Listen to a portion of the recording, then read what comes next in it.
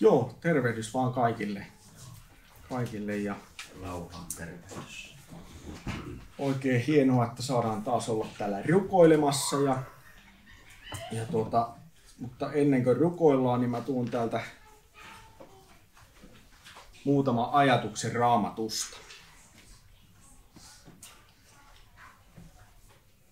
Joo, ihan tota noin niin, tämmönen aihe, mistä en tuntuu, että se tota, ei niin kuin päästänyt otteestaan, kun tätä iltahetkeä mietin, niin mikä on itselle ollut hyvin semmoinen merkittävä todella äh, siitä lähtien, kun sain tulla uskoon ja Jumala, Jumala alkoi tota, työstään eri alueita sitten omassa elämässä ja niin kuin itse kullakin varmasti semmoisia kokemuksia, että kun Jumala aloittaa työnsä, niin, niin tota, Jumala alkaa vapauttaa erinäisistä asioista. Ja yksi semmoinen, semmoinen alue, mikä itselle oli hyvin, hyvin merkittävä ja tärkeä, niin on ollut tämmöinen kuin pelon voittaminen. Ja siitä ajattelin muutaman ajatuksen sanoa, mutta luetaan tähän ihan alkuun täältä Matteuksen evankelimin luvusta 14 ja jakeesta 27 eteenpäin muutama jae, jossa on tämä monille varmasti tuttu tilanne. Opetuslapset on siellä veneessä aaltojen ahdistamana ja, ja tota noin niin, Jeesus kävelee heidän luokseen siellä järven päällä. Ja täällä sanotaan näin, että neljännellä yövartiolla Jeesus tuli heidän tykönsä kävellen järven päällä. Kun opetuslapset näkivät hänen kävelevän järven päällä, he peljästyivät he ja sanoivat, se on aave ja huusivat pelosta. Mutta Jeesus puhutteli heitä kohta ja sanoi, olkaa turvallisella mielellä, minä se olen, älkää peljätkö. Pietari vastasi hänelle ja sanoi, jos se olet sinä Herra, niin käske minun tulla tykösi vettä myöten. Jeesus sanoi, tule. Ja Pietari astui ulos veneestä ja käveli vetten päällä mennäkseen Jeesuksen luo. Mutta nähdessään kuinka tuuli hän pelästyi ja rupesi vajoamaan ja huusi sanoen, Herra, auta minua. Niin Jeesus kohta ojensi käteensä, tarttui häneen ja sanoi hänelle, sinä vähäuskoinen, miksi epäilit? Tämä on monille varmasti todella tuttu, tuttu kohta, mutta kun ajattelee tätä yleistä ilmapiiriä ennen kaikkea nyt, missä me eletään tänä päivänä, niin raamatun sana kuvaa sitä hyvin osuvasti, että se on semmoinen, semmoinen aika, että ihmiset menehtyy peljätessään sitä, mikä maanpiiriä kohtaa. Ja me nähdään, että pelko eri puolilla saa erinäisiä asioita aikaan ihmisen elämässä. Ja en tiedä, onko sulla, luulisin, että sullakin varmaan on semmoisia kokemuksia, että eri asioiden kohdalla voi olla niin, että pelko yllättäen voi yrittää tarttua suhunkin tai hiipiä sinne puseron alle. Ei tarvitse paljon arjessa tulla vastoinkäymisiä, kävelee vaikka postilaatikolle ja sieltä ottaa, niin voi tulla joku yllättävä kirje tai lasku, joka pistää aivan niin kuin tota, mitä ei ole muistanut vaikka huomioida, tai se on muuten yllättävää, että se pistää niin kuin taloudellisen puristuksen ja semmoisen ahdistuksen päälle. Tai, tai voi tulla sairaus, joka yllättää, tai lähipiirissä jotain semmoisia yllättäviä vastoinkäymisiä. Huomaa, että pelko yrittää saada vallattua alaa sydämessä.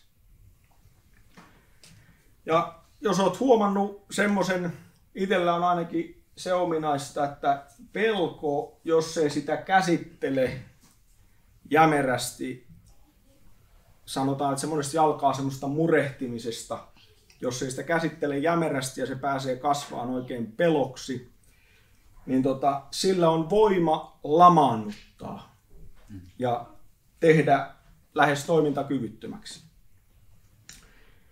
Ja tässä niin kuin huomattiin, kun luettiin täältä raamatusta, että Pietarikin sai Herralta sanan. Hän oli rohkeasti lähdössä kulkemassa Jeesusta kohden. Hänen koht, niin kuin fokuksensa oli Jeesuksessa, mutta sitten hänen fokuksensa herpaantui, hän alkoi katteleen ympärilleen ja hän alkoi, niin kuin sanotaan tässä, hän peljästyi. Ja samalla hetkellä hän alkoi vajoamaan, kun hänen katse herpaantui Jeesuksesta. Ja mulle se aina saarnaa siitä, että kuinka tärkeää on pitää fokus Jeesuksessa. Siellä Timoteuskirjeessä, toinen Timoteuskirje 1 ja 7 sanotaan näin, sillä Jumala ei ole antanut meille pelkuruuden henkeä, vaan voiman, rakkauden ja raittiuden henkeä. Siis Jumala ei vaikuta meissä pelkoa. On tietysti myös terveellistä pelkoa. Mehän ymmärretään, että, että on terveellistä pelkoa, niin kuin on täälläkin monesti varmaan kuultu, Jumalan pelosta. Jumalan pelko on terveellistä pelkoa, se varjelee meitä, meitä tuota monelta ikävältä asialta. Ja Raamattu kehottaa meitä pelkäämään esivaltaa kunnioittamaan esivaltaa, sillä se ei turhaa miekkaa kannan, niin kuin Raamattu sanoo. Jos ei olisi esivaltaa, niin täällähän vallitsisi anarkia. Eikö niin? Mm. Eli esivallan tehtävä ja lain, lakien ja muiden tehtävä on varjella ja niin sanotusti ylläpitää elämää. Ja samalla tavalla myöskin seurakunta on semmoinen, että sen, sen, niitä asetettuja auktoriteetteja on hyvä terveellä tavalla kunnioittaa. Ja sen tehtävä on varjella uskonelämä.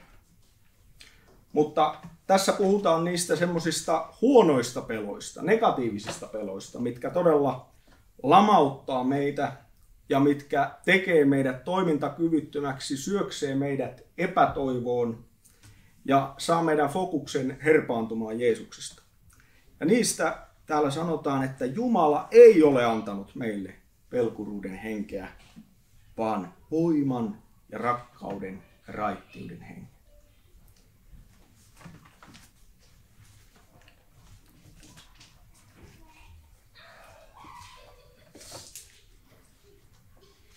Ja se on ihmeellistä kokea, kun Jumala henki saa meissä vaikuttaa, niin Jumala haluaa aina vaikuttaa todella tätä voimaa ja rakkautta ja tervettä harkintaa, toinen käännös sanoo, tätä raittiuden henkeä.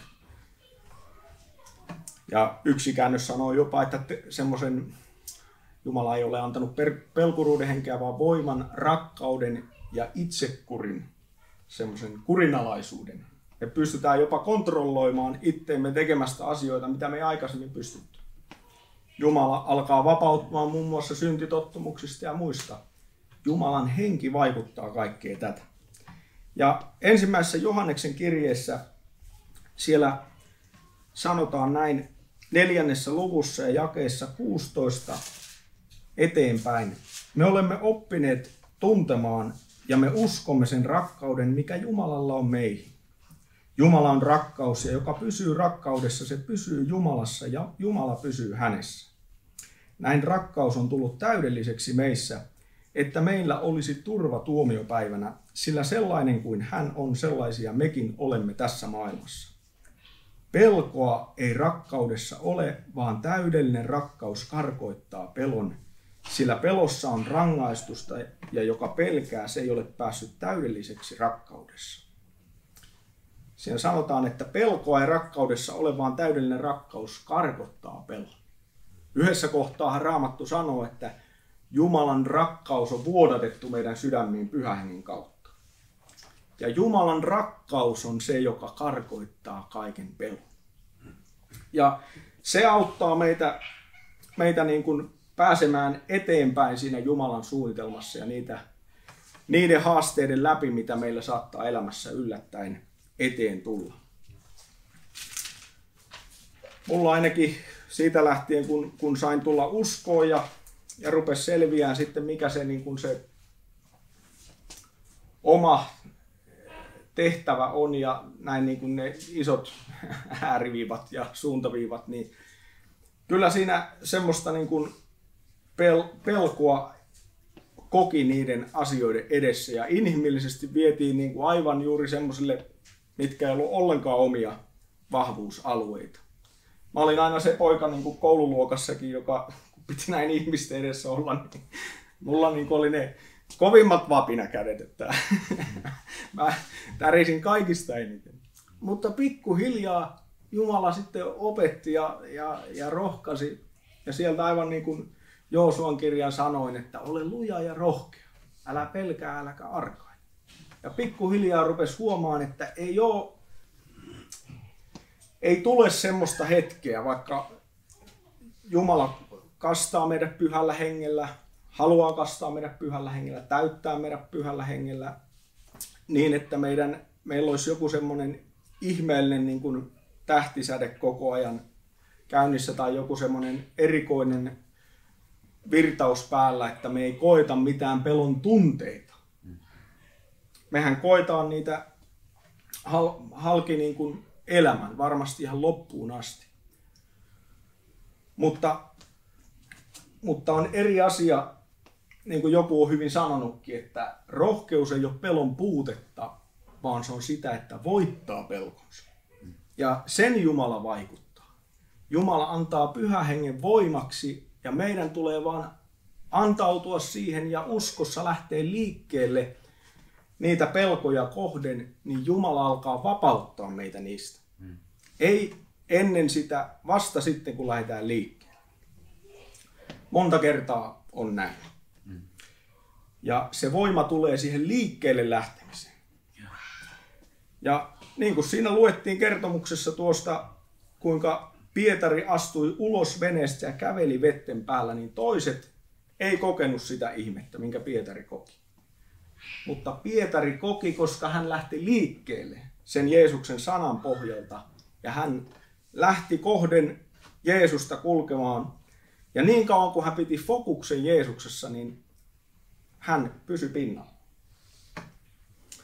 Ja se on valtava tietää, että meitäkin Jumalan sana kannattaa ja, ja vaikka me koetaan niitä, niitä pelon ja ahdistuksen ja epävarmuuden tunteita, niin Jeesus on siinä meidän kanssa. Mua on monta kertaa niin kuin rohkaissut se, kun tota, raamattu on niin raakan rehellinen kirja. Abrahamistakin sanotaan, että silloin kun hän odotti uskossa Jumalan lupauksen toteutumista, niin Abraham oli jossain omissa haihatteluissa ja jotenkin jalat irti todellisuudesta ja maankamaralta. Vaan Raamattu sanoo, että hän tiesi, mikä oli Saaran tilanne. Hän tiesi Saaran kohdun kuolintua. Hän tiesi sen. Ei hän kieltänyt sitä. Ei mekään voida kieltää, jos meillä on pelon tunteita ja muita. Ei me niitä kielletä. Kyllä kaikenlaisia tuntemuksia on. Mutta Jumalan armon ja vaikutuksen avulla hän päätti uskossa ojentautua sen sanan mukaan, minkä Jumala oli puhunut.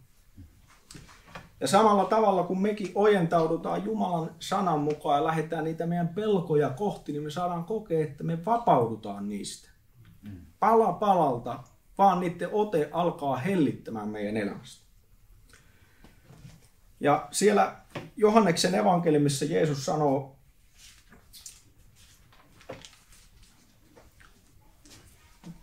luvussa 16 jakeessa 33, kun hän kertoo erinäisiä asioita opetuslapsille, kuinka hän on voittanut maailman ja niin edelleen, niin hän toteaa lopuksi, tämän minä olen teille puhunut, että teillä olisi minussa rauha. Maailmassa teillä on ahdistus, mutta olkaa turvallisella mielellä. Minä olen voittanut maailman. Ja toisessa kohtaa 14.27 hän sanoo, rauhan minä jätän teille, minun rauhani sen minä annan teille. En minä anna teille niin kuin maailma antaa, älköön teidän sydämenne olko murheellinen, älköönkä peljätkö. ajattele, itselle se on ainakin valtavampia, valtavimpia juttuja, kun sai tulla uskoon ja sai kokea sitä, että Jumala alkoi kasvattaa tällä alueella ja alkoi pääseen vapaaksi peloista. Ja edelleenkin vaikka pelon tunteita tulee, niin on tullut kokemuspääomaa jo siihen, että tietää, että Jumala on aina ennenkin auttanut, Jumala auttaa nytkin. Ja nämä ei mua enää sido, vaan mä koko ajan kuljen kohti sitä, miksi Jumala on mut alun perin luonut ja mitä varten, minkä tehtävä hän on mulle määrittänyt. Jumalan armon ja voiman avulla. Ja mua on monta kertaa rohkaissut, kun mä oon ajatellut noita, noita tota noin niin, esimerkiksi vaikka lähetystyöntekijöitä. Ei hekään ole mitään superihmisiä. Joku Okke Söderlund vaimonsa kanssa, jonka sain tota noin niin, oli val, valtava hieno asia, että kerkesin muutaman kerran hänen tapaamaan hänet tapaamaan ennen kuin, ennen kuin hän pääsi taivaan kotiin. Mä olin silloin ihan semmoinen pojan kloppi, enkä ollut edes uskossa, mutta tota noin niin 16-vuotiaana, mutta kun isä meni kerrankin häntä tapaamaan tonne Helsinkiin, niin tota, hän otti mut mukaan ja tuo lähetystekijän, työntekijän niin kuin siinä kohtaaminen ja hänen juttujen kuunteleminen sivusta niin teki muuhun semmoisen lähtemättömän vaikutuksen kaikesta huoku semmoinen syvä uskonvarmuus ja, ja lepo ja luottamus ja ilo ja rauha.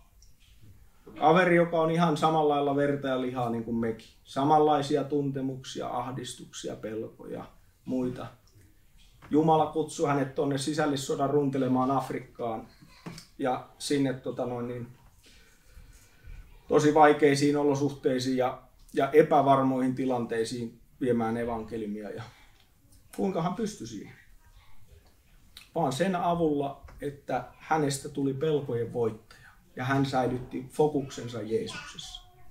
Ja samalla tavalla hän varmasti koki heikkoutta ja, ja niitä kaikkia tuntemuksia, mitä mekin koetaan, mutta Jumala opetti ja koulutti häntä, että hän rupesi menee niitä kohti ja voitti itsensä aina uudelleen ja uudelleen. Ja näin kun me toimitaan ja tehdään, niin mekin saadaan kokea, että Jumala meitä vapauttaa ja hän ei ole todella antanut meille pelkuruuden henkeä, vaan voiman, rakkauden ja räittiyden hengen. Näin se on. Aamen. Aamen.